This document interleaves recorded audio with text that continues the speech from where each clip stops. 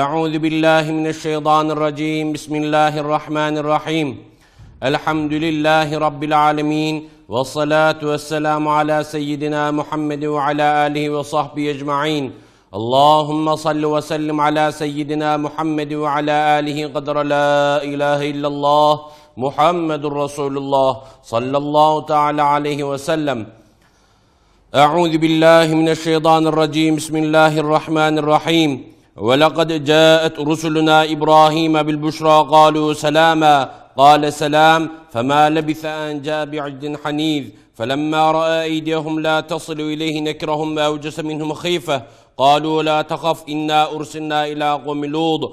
وامرأته قائمة فضحكت فبشرناها بإسحاق ومن وراء إسحاق يعقوب. قالت يا ويلتى أألد وأنا عجوز وهذا بعلي شيخا؟ İnne hâzâ leşey'un acîb. Sadakallâhu azîm.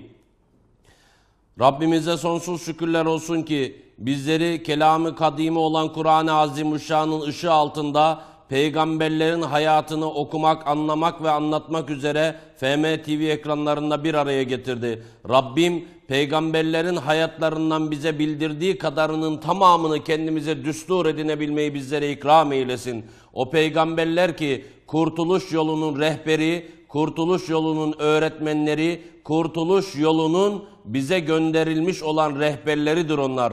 Onlar bizi hidayete erdirecek olan, bizi hidayette istikamet üzere yürümek için adımlarımızı öğreten birer öğretmenlerdir. Nasıl ki herhangi bir yurt dışına geziye çıktığımız zaman veya herhangi bir tanımadığımız bir şehri gezmeye gitmek istediğimiz zaman o şehrin en güzel tarihi görselleriyle beraber o şehrin yöresel kıyafetlerini, yöresel ticaretlerini, yöresel düğünlerini bile merak edip de nasıl ki onları öğrenmek için internet aleminden, sosyal ağdan veya gittiğimiz yerdeki insanların rehberliğiyle bir şeyler öğrenip de gezdiğimizin tadına, göreceklerimizin lezzetine kavuşmak için bir rehbere ihtiyacımız varsa işte bu hayatın gidişatı ve sonu olan kabir aleminde, mahşer meydanında, sıratta, cennette ve cemalullah'ta buluşmak adına bizlere rehberlik edecek en büyük rehberler peygamberlerdir.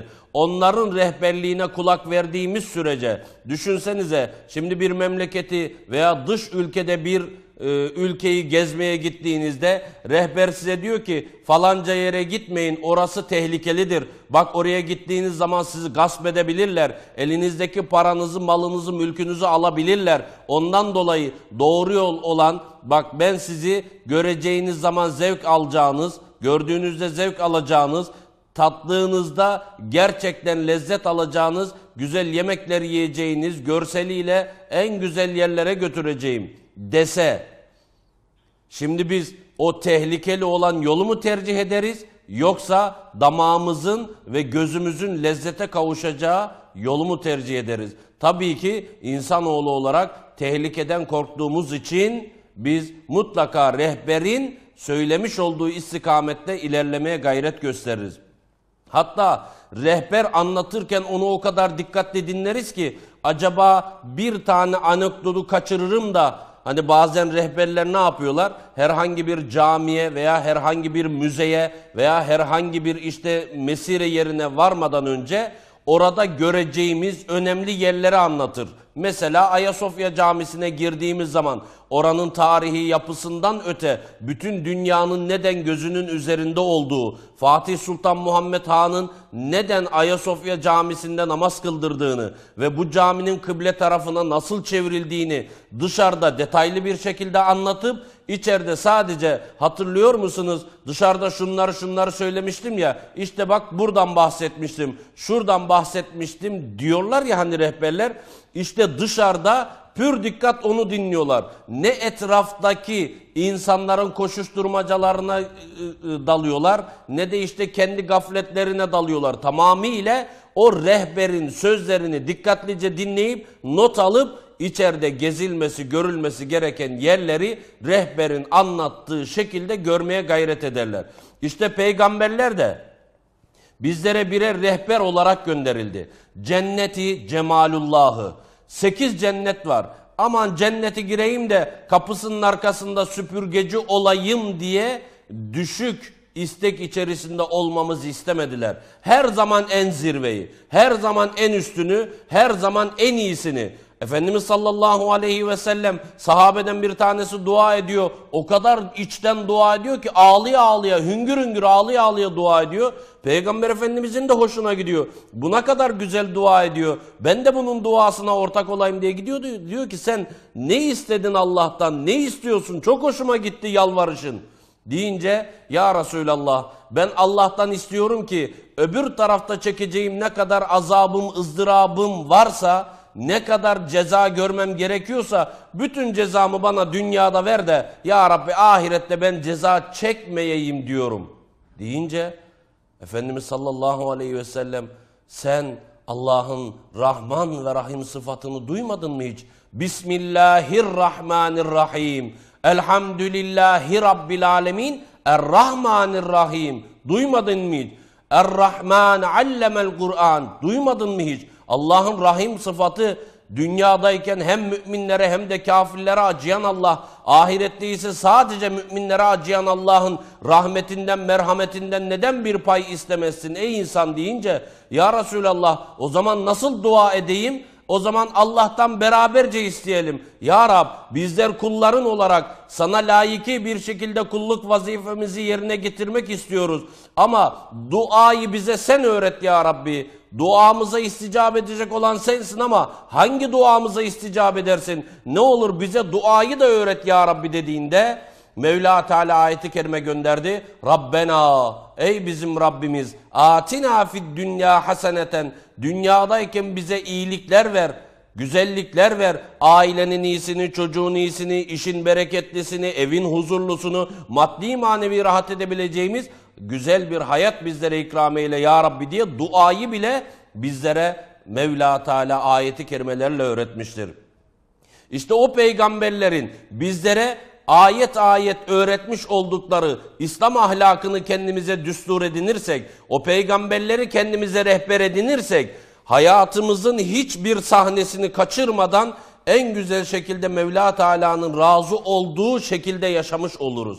Peygamberlerin tıraşından uykusuna, yemek yeme ahlakından banyo yapma ahlakına kadar, ailesiyle konuşmasından çocuklarına çocuklara karşı olan davranışına kadar bütün hali hayatını kendimize düstur edinirsek o zaman peygamberin rehberliği bize fayda sağlayacaktır. Yoksa rehber sana diyor ki bak buradan gitme. Eğer buradan gidersen tehlikelerle karşılaşacaksın. Doğru yol olan burasıdır. Mevla Teala ayeti kerimelerle bize Rabbani kullardan bahsediyor.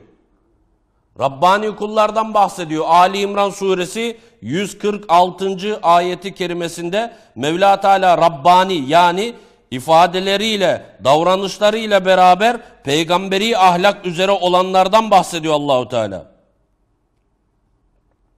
Ve keyyim min nebiyyin qatele ma'ahu ribbiyun kesir fema vehenu lima asabahum fi sabilillahi ve ma za'fu ve mestekanu vallahu yuhibbus sabirin. O peygamberler, o peygamberler var ya o peygamberlerle beraber mücadele eden Rabbani kullar vardır. O peygamberlerin hayatına hayatını kendisine düstur edinmiş, onun rehberliğini kendisine düstur edinmiş. Benim rehberim de, benim önderim de, benim aydınlığım da peygamber ve onun göstermiş olduğu yoldur diyerek peygamberlerle beraber mücadele eden Rabbani kullar vardır.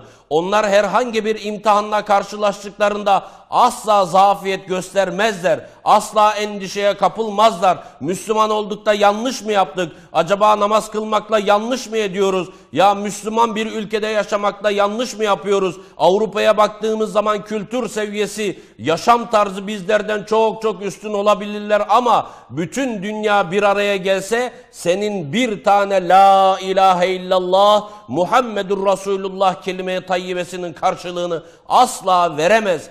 Bunun endişesine düşmemek, bunun zafiyetine düşmemek gerek. Mevla Teala ayet-i kerimin devamında diyor ki: "Ve ma kana kavluhum illa en galu." İşte o Rabbani kullar var ya, Mevla Teala'nın peygamberlerini kendine önder edinmiş. Onları kendisine rehber seçmiş. O rehberlerin göstermiş olduğu sıratı müstakim üzerinde yürüyen o Rabbani kullar Mevla Teala'ya dua ederken derler ki Rabbena gfir lena zunubena. Ya Rabbi beni affeyle günahlarım isyanım çoktur ya Rabbi Günahlarım sayamayacağım kadar hatta aklıma gelemeyecek kadar fazladır ya Rabbi. Ne olur bu günahlarımı affı mağfiret eyle ve israfena fi ve israfena fi emrina ve sebbit akdamena. Ya Rabbi israf etmiş olduğum şeylerden dolayı da beni affeyle ya Rabbi. Zamanımı israf ediyorum. 90 dakikalık maçı izlemek benim hiç zoruma gitmiyor. Bir buçuk saatlik bir filmin reklam arasında dahi tuvalete gidemeyecek kadar sabırsızım. Reklamdan sonraki heyecanlı sahneyi kaçırırım diye filmin karşısında harcadığım zamanımı hiç gözüm görmüyor. Zamanı israf ediyorum. Ya Rabbi vermiş olduğun nefesi senin yolunda harcamaya gayret göstermek yerine vermiş olduğun nefesi şuursuzca fütursuzca harcıyorum. Ya Rabbi israf ettiğim zamanımdan, israf ettiğim bedenimden, israf ettiğim kelimelerimden, israf ettiğim bakışlarımdan, israf ettiğim konuşmalarımdan dolayı beni affeyle ya Rabbi diye Allah'tan özür dilerler diyor. Fi emrina ve sebbit akdamena. Emretmiş olduğun şeyler üzere de ayaklarımı sabit kıl ya Rabbi. Yani bugün ortada herhangi bir tehlike yok. Müslüman olduğum zaman ticaretim de güzel gidecek. Sakal koyduğum zaman müşterim biraz fazlalaşacak. Sarık sardığım zaman biraz daha insanların bana bakış açısı değişecek. Hatta ticaretim ticaretimi yaparken Fatih Sultan Muhammed Han'ın ahalisinin yaptığı gibi ben bugün siftahımı yaptım. Karşı komşum henüz siftah yapmadı. Gidip ondan alışveriş yapın dediğimde biraz daha tüccarlar arasında da e, itibarın arttığında, yarın bir gün olur da küffarın kıskacına düşersen, doların, euronun e, tavan yaptığı bir zamanda, sarığınla sakalınla rencide edilmeye başlandığın zaman, acaba sakal koymakla yanlış mı yaptım, acaba sarık sarmakla yanlış mı yaptım, cami cemaati olmakla yanlış mı yaptım diye endişeye düşmeden, istikametini bozmadan yürüyenlerden eyle bizi ya Rabbi diye, dua ederler diyor. Allah'ım istikametimizi daim eylesin. Ve devam ederler. Ya Rabbi bizler her ne kadar nüfus olarak kalabalık olsak da teknolojinin son harikası olan tank, son harikası olan tanklara, tüfeklere, mermilere, F-16'lara sahip olsak da Ya Rabbi vensurna alel kavmil kafirin. Kafir kavmine karşı bize yardım edecek olan sensin ya Rabbi. Halep'te, e, Filistin'de, Irak'ta, Arakan'da acı duyan Müslüman kardeşlerimizin imdadına yetiştirecek olan sensin ya Rabbi. Ne olur ya Rab. Yavuz Sultan Selim Han'ın dünyanın haritasını önüne serip de şöyle baktığında bir kişiye fazla ama iki kişiye de az diyecek kadar o Osmanlı padişahı Allah'ın yeryüzündeki gölgesi peygamberin sünnetullahına en güzel şekilde uyan o önderlerin o rehberlerin ne olur ya Rabbi adaletini onların istikametini bizlere nasip eyle ki vensurna alel kavmil kafirin ayeti kerimesinin sırrına mazhar olalım. Onlara karşı bizlere Yavuz Sultan Selim gibi cüretkar bir yürek, Fatih Sultan Muhammed Han gibi cesur bir yürek, Kanuni Sultan Süleyman Hazretleri gibi ilmi ve edebiyle Fransa'nın kraliyet saraylarındaki krallarını dahi tir tir titretecek bir iman bizlere nasip eyle ya Rabbi diye okullar dua eder. Bizler de dua edelim. Etmeyelim mi? Yanı başımızda bombaların patladığını sınır şehirlerimizde duyduğumuz Halep'te insanlık ölüyor. İnsanlık tarumar oluyor. Bütün herkes sevgiden, bütün herkes aşktan, bütün herkes merhametten bahsediyor ama bunca zulüm neden yapılıyor kimse bunun düşüncesi içerisine girmiyor. Neden? Peygamberlerin hayatını kendimize düstur edinmediğimizden dolayı 3-5 kişilik bir sünnetullah yaşantısıyla 300-500 bin kafire karşı durmaya gayret gösteriyoruz. Ne olur Müslümanlar gelin rehberimizi gerçekten rehber edinelim. Bize herhangi bir evimizde kullanacağımız alet aldığımız zaman bize verdikleri kullanım kılavuzunu nasıl ki en güzel şekilde okuyup anlayıp ona göre kullanmaya gayret ediyorsak ne olur geleceğimiz olan, gerçek istikbal olan ahiretimizde de bizi kurtaracak rehberlere, peygamberlere, peygamberimize ne olur peşine takılarak istikamet üzere yürümeye gayret gösterelim. Değerli müminler, İbrahim Aleyhisselam'ı ve İsmail Aleyhisselam'ı anlatmıştık. Şu güne kadar birçok peygamberin hayatından sizlere anekdotlar sunduk. Onların hayatından, peygamberlerin hayatından Allahü Teala'nın bize bildirdiği kadarını sizlerle paylaşmaya çalıştık. Ama bizler o peygamberlerin hayatını bir kıssa veya hikayeden ibaret bir hayat olarak görmeyelim. O peygamberlerin hayatında anlatılması gereken, alınması gereken her şeyi en güzel şekilde kendimize almaya gayret gösterelim. Geçenlerde bir hoca arkadaşım mesaj attı. O kadar da hoşuma gitti ki sizlerle paylaşmak istiyorum. Efendimiz sallallahu aleyhi ve sellem Hayber'i fethetmek için Müslümanlarla beraber Hayber Kalesi'nin etrafını sarmışlar. En iyi okçular ve en iyi atıcılar kalenin etrafını çevirmişler. Oklarını ne kadar yaylarını gererlerse gersinler attıkları oklar asla kalenin üstünü aşmıyor. O kadar yüksek burçlara sahip. Attıkları taşlar kalenin burcundan geri dönüyor. Attıkları oklar hızını kaybederekten geri dönüyor. Hiçbir şekilde kalenin içerisine ne bir ok ne de bir adam giremiyor. Ama Yahudiler de o günün şartlarında Müslümanların bu denli işte içeriye girememesinden dolayı birbirlerinde bir sevinç havası, hiç savaş havası yok. Adeta içeride her şey güllük gülistanlık bir bayram havası gibi bir ortam var. Dışarıda da Müslümanlar içeriye hücum etmek için gayret gösteriyorlar. Günler geçmiş ama bir türlü kalenin içerisine girmek müyesser olmamış. En son Efendimiz sallallahu aleyhi ve sellem diyor ki bu Yahudinin en çok sevmiş olduğu şey dünya ve dünyalıktır. Biz bunların dünyalık mallarına ve ganimetlerine el koyarsak bunlar dünyasının elden gittiğine asla göz yumamazlar. Bunlar dünyalık mallarının öyle heba olup gitmesine asla göz yumamazlar. Bunların hurma ağaçlarını kesin bahçelerini tarumar edelim deyince bu sefer sahabe-i kiram başlamışlar ağaçlarını kesmeye, onların hurma bahçelerini işte yok etmeye başlayınca Yahudiler bakmışlar ki eyvah biz ne, ne yapıyoruz? Bunun bizim hurma bahçelerimiz yok olursa biz nasıl ticaret yapacağız? Biz bundan sonra neyi biçeceğiz? Nasıl bundan sonra işte hayatımızı idame ettireceğiz diye endişeye ve tehlikeye düştükler tehlikeye düşüyorlar ve hemen teslim oluyorlar. Hemen teslim oluyorlar. O fethedilemez denilecek Hayber kalesini 3-5 tane hurma ağacına teslim ediyorlar. Peki bu bir kıssa bir hikaye mi? Değil. Buradan alınması gereken ders ne?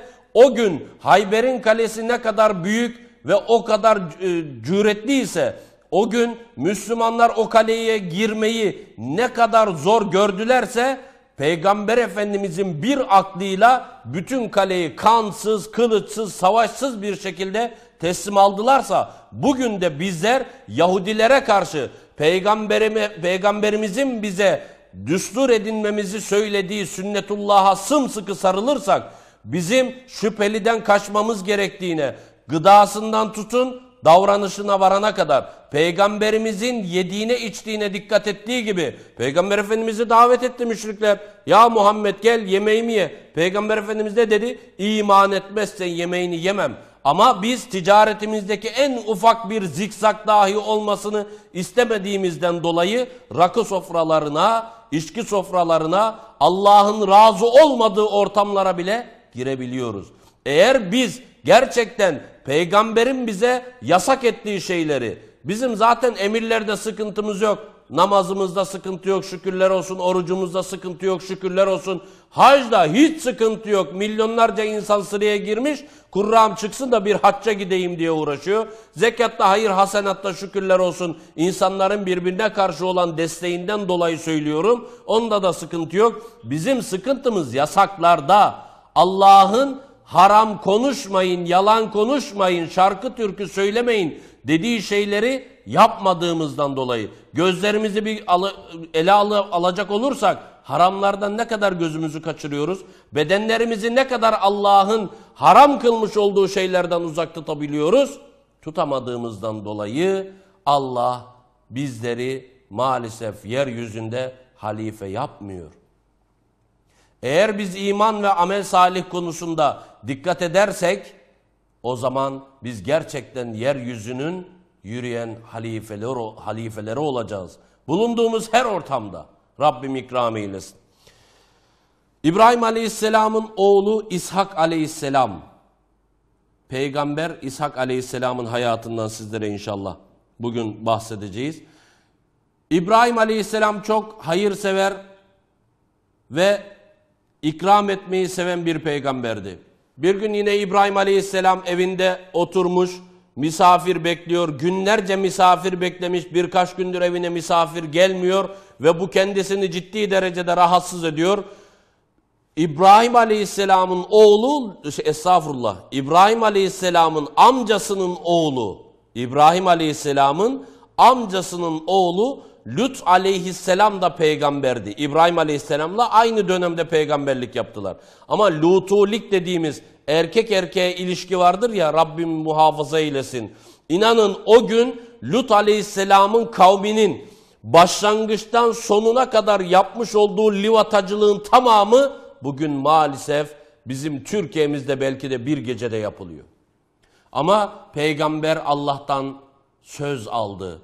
Benim ümmetim Lut aleyhisselamın kavmi gibi bir anda helak olup ortadan kaldırılmayacak.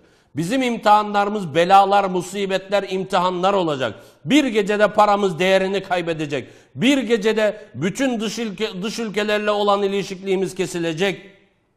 Biz imtihanların her türlüsünü yaşayacağız. Neden? Emirleri yerine getiriyoruz ama yasaklardan kaçmadığımız için.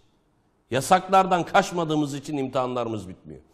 Ve o Lut Aleyhisselam'ın kavmi hatlı sınırı öyle aştılar ki artık meleklerin dahi aralarında kalamayacak kadar insansızlık, insanlıktan çıktılar. Şeytani davranışların içerisine girdiler ve bunlara helak emri geldi. Lut Aleyhisselam'ın kavmini helak etmek için üç tane melek görevlendirilmişti.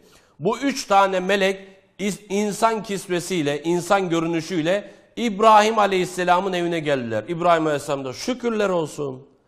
Elhamdülillah günlerdir misafir bekliyordum. Üç tane genç, güzel, yakışıklı misafir geldi diye İbrahim Aleyhisselam sevindi ve misafirleri aldı evine getirdi. O melekler ve lekad câet rusuluna İbrahim'e bil büşra galu selama. İbrahim Aleyhisselam'a Hud suresi 69, 70, 71 ve 72. ayeti kerimelerde İshak Aleyhisselam'ın hayatını tefsirlerden de inceleyip okuyup anlayabilmeye anlayabilirsiniz inşallah. Sizler de okuyun inşallah. O İbrahim Aleyhisselam'a müjde getiren melekler selam diye İbrahim Aleyhisselam'a selam verdiler. İbrahim Aleyhisselam da kâle selam. فَمَا لَبِثَ اَنْ جَاءَ بِعِدٍ hanif. De, o İbrahim Aleyhisselam da onlara e, selam dedi ve Onları eve davet etti, eve oturtturduktan sonra durmadı, hemen gitti. Ee, İbrahim Aleyhisselam onlara bir tane buzağı, yani e, şöyle söyleyeyim, annesinden yeni doğmuş, şöyle bir yaşına gelmiş bir dana. Hemen onu güzelce fırında yaptı. Misafire de izzeti ikramda en güzel şekilde davranan İbrahim Aleyhisselam'dı sofrasını en güzel şekilde donatıp evindeki misafirin yemesini hem gözünü hem gönlünü hem midesini en güzel şekilde doyuran peygamber İbrahim Aleyhisselam'dı. Rabbim o ahlakı bizlere de ikram eylesin. Misafiri en güzel şekilde ağırlama ahlakını Rabbim bizlere de ikram eylesin. Misafir geldiğine memnun olsun, yediğine memnun olsun, midesi de doysun, gözü de doysun, şükrünü de eda etsin, duasını da etsin, bereketiyle beraber yürüsün gitsin inşallah. Ve İbrahim Aleyhisselam onlara en güzel izzeti ikramda bulundu ama melekler yemedi. Çünkü neden? Melekler yemezler, içmezler. Onlar nurdan yaratılmış varlıklardır. Onlar doğmazlar, do yani doğurmazlar, ilişkiye girmezler. Meleklerle alakalı küçük de bir anekdot sunayım. Efendimiz sallallahu aleyhi ve sellem meleklerin isimlerinin koyulmasını doğru bulmamıştır. Peygamberlerin isimleri koyulabilir. İshak ismi koyulabilir. İbrahim Aleyhisselam'ın ismi koyulabilir ki şükürler olsun memleketimizde bolca var. İsmail Aleyhisselam, İdris Aleyhisselam, Adem Aleyhisselam, Musa Aleyhisselam bütün bu peygamberlerin isimleri İsa Aleyhisselam da dahil olmak üzere ki İsa Aleyhisselam da Musa Aleyhisselam da bizim peygamberimizdir. Yahudiler istediği kadar Musa bizim peygamberimiz desin. E, e, Hristiyanlar istediği kadar İsa Aleyhisselam bizim peygamberimiz desin. Onlar asla peygamberlerinin emretmiş olduğu istikamette yürümemektedirler. İshak Aleyhisselam Yakup Aleyhisselam'ın da babasıdır. İsrailoğullarının doğuşudur aslında İshak Aleyhisselam'ın dünyaya gelişi. Ve e, İbrahim Aleyhisselam onlara ikram ettikten sonra bunlar yemekten yemediler ve bu sefer İbrahim Aleyhisselam korktu. Allah Allah bunların acaba e, buraya gelişlerinde bir sebep mi var? Bir endişeye kapıldı. Bunlar niye yemiyorlar deyince la takaf dediler İbrahim Aleyhisselam. Galu la takaf. Ya, ya İbrahim sakın korkma. İnna ursinna ila kavmi. Biz Lut kavmine gönderilmiş olan melekleriz dediler. Lut Aleyhisselam'ın kavmi hattı sınırı aştılar.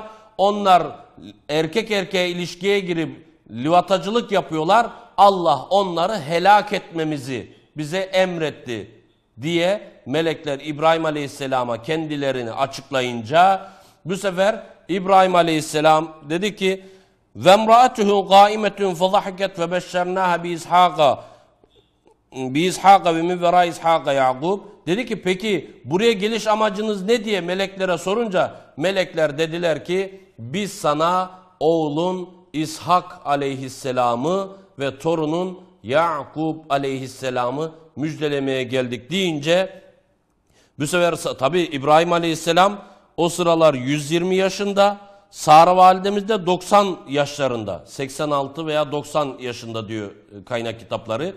Sa Sara validemiz 86 veya 90 ya- 90 yaşında diyelim öyle düşünün. Galet ya veylete elidu ve ene acuzu ve hâzâ ba'li şeyha. Dedi ki ya ben 90 yaşıma gelmişim, yaş bitmiş, ömür gitmiş. Ben 90 yaşındayım. İbrahim Aleyhisselam 120 yaşlarında. Biz bu haldeyken mi Allah bize çocuk verecek diye Sara validemiz böyle ellerinde yüzüne vurarak ya heylete ya heylete ah." Şaşkınlık ifadesiyle tabii. Şaşkınlık ifadesiyle beraber düşünsenize yıllarca çocuğu olmamış.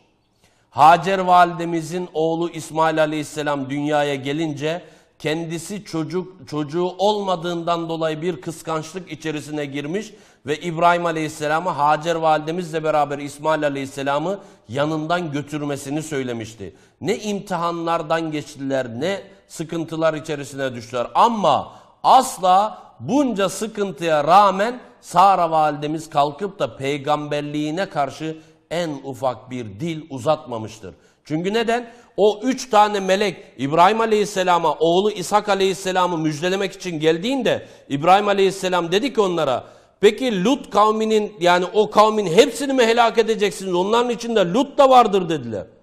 Bu sefer melekler dedi ki hayır Lut aleyhisselamla beraber kendisine iman edenlere asla dokunulmayacak. Ama hanımı hariç. Neden? Kendi hanımı dahi o Lutiliği destekleyenlerdendi. Bak yapanlardan değil destekleyenlerden. Peygamberin hanımı da olsan Allah'a yanlış yapan kişilerin sevgisini kalbinde taşıyorsan, onların yapmış olduğu yanlışları destekliyorsan ve onların yapmış olduğu yanlışlara göz yumuyorsan helak olanlarla beraber sen de helak olursun. Peygamberin hanımı iken böyle. Şimdi biz kendi hayatımızı bir gözden geçirelim. İçki içiyor musun? Hayır. İçenlere ses çıkarıyor musun? Hayır. Koy bakayım kendini bir kefeye. Zina yapıyor musun? Allah muhafaza. Zina yapanlara bir karşı engelin var mı? Yok. Peki namaz kılıyor musun? Şükürler olsun. Giderken bir iki kişiyi namaza götürüyor musun? Hayır. Emekli olana kadar yemediği nane kalmıyor. Emekli olduktan sonra da hayatı sıfırlamaya çalışıyor gibi bir hayat bizi ne kadar sırat köprüsünden geçirir, ne kadar cennete kavuşturur orası bir muamma. Onun için bizler Allah rızası için lütfen ve keremen biz yapmış olduğumuz doğruları sadece kendimize kar ve kazanç olarak görmeyelim. Mutlaka birilerinin yaptığı yanlışa da engel olmaya çalışalım. Bu yanlış. Görüyorsun ki bir genç uçurumun kenarına doğru gidiyor. İki adım daha atsa aşağı düşecek. Aman düşsün ya bana ne der misin? Bırak İslam'ı insanlığın gereği gidip onu oradan alman gerekiyor. Bak Dün yani 3 Aralık Dünya Engelliler Günü'ydü. Bir engelliyi hatırlamak, onun hayatında kısa da bir olsa hani ona destek sağlamak amacıyla millet olarak, vatandaş olarak hepimiz duyarlılığımızı ortaya koyduk. Neden? Onlara karşı bir sevgimizin, merhametimizin olduğunu göstermek ve yalnız olmadıklarını hissettirmeye çalışıyoruz. O insanı düşünün. Allah bazı şeylerden engellemiş. Kimisine göz vermemiş, kimisine ayak vermemiş, kimisine dil vermemiş, kimisine akıl vermemiş. Kimisine bakıyorsun bütün beden sapasağlam sadece bir safra kesesi olmadığından dolayı akli melekeleri ve hissi duyguları yerinde değil. Bak bir organın eksikliğinden dolayı Allah nicelerini bize örnek olarak gösteriyor ki halimize şükredelim diye. O insanlardan, o engelli vatandaşlarımızdan bir tanesinin uçurumun kenarına doğru gittiğini görsek, biz onun yanlış yola doğru gittiğini göz göre göre aman bana ne der miyiz? Hayır. Aman aman aman ne yapıyorsun? Doğru yol aman şöyle git böyle git. Ona nasıl yardımcı oluyorsak bazı konularda kör olmuş, duygularını kaybetmiş, ezanlara sağır kalmış, içki masalarının başında pineklemiş olan gençlerimizin elinden tutup kaldırmaya bizler memuruz. Onları kaldırıp Allah'la ve kelamullah'la buluşturmaya mecburuz. İbrahim Aleyhisselam Lut Aleyhisselam'la alakalı ne olur dedi ya bak e, hani hemen helak etmeye gitmeyin bir daha uyaralım. Hani Lut Aleyhisselam'a gideyim ben destekçi olayım de. Mevla Teala dedi ki as onlar haddi sınırı aştılar. Onlar için helak emri verilmiştir. Güneş onlar için batıdan doğdu. Tövbe vakti onların bitti. O ne diyecek, bu ne diyecek putunu da putuna taptığımızdan dolayı birilerine rencide olacağız diye birçok şeyimizden feragat ettiğimiz için Allah'ımızı, peygamberimizi üzdüğümüzün farkına varmıyoruz. Allah muhafaza helak yakındır. Rabbim muhafaza eylesin. İbrahim Aleyhisselam'la Sara validemiz öyle şaşırmışlar ki ya biz bu yaşımıza gelmişiz nasıl çocuğumuz olacak? Melekler dediler ki Allah istediyse bu olacak. Allah istedikten sonra kün dedikten sonra feyekün hemen verir Ve İbrahim aleyhisselam 120 yaşında Sara validemiz de 90 yaşındayken İshak aleyhisselam dünyaya gelmiş oldu. Konumuzu burada bitirmek istiyorum. Çünkü bir sonraki programımızda çok detaylı bir şekilde İshak aleyhisselamın gelişiyle beraber İsrailoğullarına verilen değer, bu İsrailoğullarının verilen değeri yerle bir edişi, sebepleri, sonuçları, neticeleri, bütün bunları detaylı bir şekilde incelemeye gayret edeceğim inşallah. İshak Aleyhisselam'ın doğumuyla inşallah programımızı bitirmiş olalım. Bir sonraki programımızda İshak Aleyhisselam'ın peygamberliği, peygamberliğin gelişi, İshak, Aleyh, İshak Aleyhisselam'ın peygamberlik vazifesinde neler yaptığını inşallah sizlerle işlemeye gayret edeceğiz. Mevla Teala'nın o bahsettiği Rabbani kullardan olabilmek ümidiyle hepinizi Allah'a emanet ediyorum. Esselamu Aleyküm ve Rahmetullahi ve Berekatuhu.